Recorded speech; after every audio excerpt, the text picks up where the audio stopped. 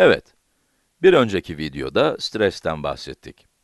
Stres epey esnek bir kelime. Özellikle de psikolojide teknik bir tanım olarak kullanıldığında.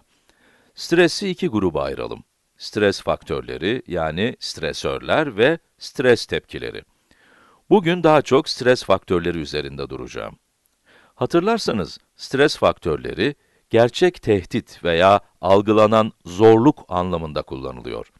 Psikologlar, stres faktörlerini dört ana başlıkta gruplarlar. Gelin şimdi bunlardan bahsedelim. Buradaki siz olun. Bu yoldan gidiyorsunuz. Diyelim, büyüdüğünüz şehirden ilk defa ayrılıp, üniversiteye gidiyorsunuz. İlk defa evinizden ayrılıyorsunuz ve her şeyinizi arabanın üstüne yüklemişsiniz. Yurt eşyalarınız, malzemeleriniz, yatağınız, hepsi arabanın tepesinde. Evden ayrılmaya hazırsınız. Üniversiteye gitmek, hayatta çok önemli bir değişikliktir. Bu da stres faktörlerinin ilk ana grubu. Önemli hayat değişiklikleri. Bu grup, sevdiğiniz birinin ölümü, iş kaybı, ilk defa evden ayrılmak, evlenme, boşanma veya çocuk sahibi olma gibi hayatta önemli değişikliğe sebep olan olayları açıklar. İsterseniz, Holmes ve Rahe stres ölçeğini inceleyebilirsiniz. Hayatımızdaki 43 ana stres faktörünü anlatıyor. Bunların etkisini gösteriyor ve bu etkenler sebebiyle stres bağlantılı hastalıklara yakalanma olasılığınızı tahmin ediyor. Biz devam edelim. Diğer ana grupsa felaketler. Farz edin, bu arabayı kullanıyorsunuz ve ilk defa üniversite için evden ayrılıyorsunuz.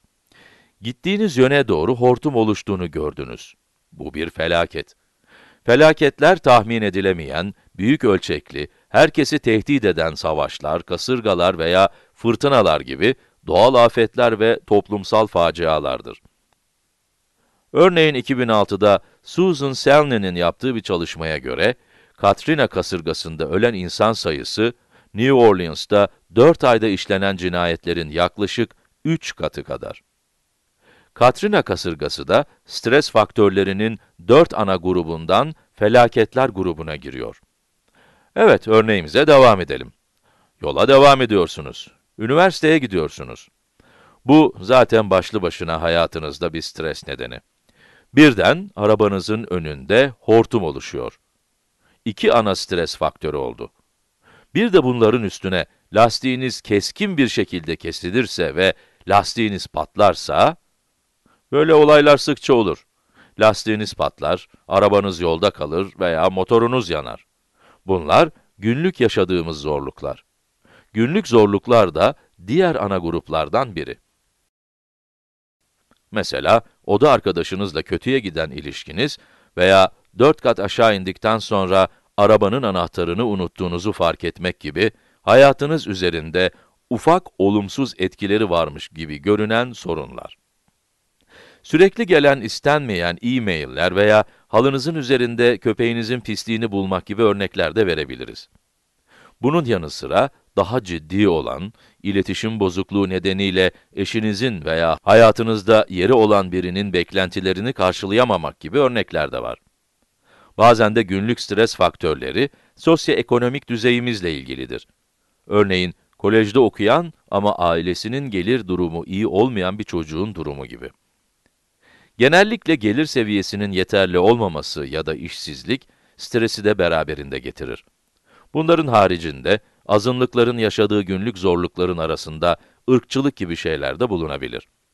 Küçük gibi görünen bir sürü stres etkeni birbiri üzerine eklenir ve çok büyük etkiler yapar. Aslında Lazarus, Ruffin ve Connor McDonald gibi birçok psikolog, günlük sorunları en önemli stres etmeni olarak görüyorlar. Üzerine konuşmak istediğim son ana stres faktörleri grubuysa, çevresel stres faktörleri.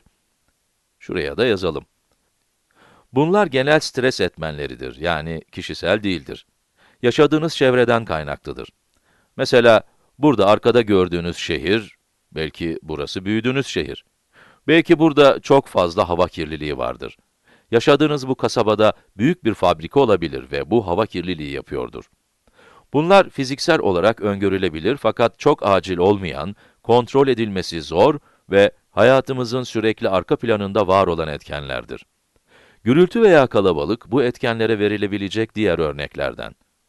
Bu etkenlerle ilgili ilginç nokta ise bunların bizi biz farkında olmadan olumsuz olarak etkilemesi. Yani varlığını bile fark etmeden bizi etkileyebilirler.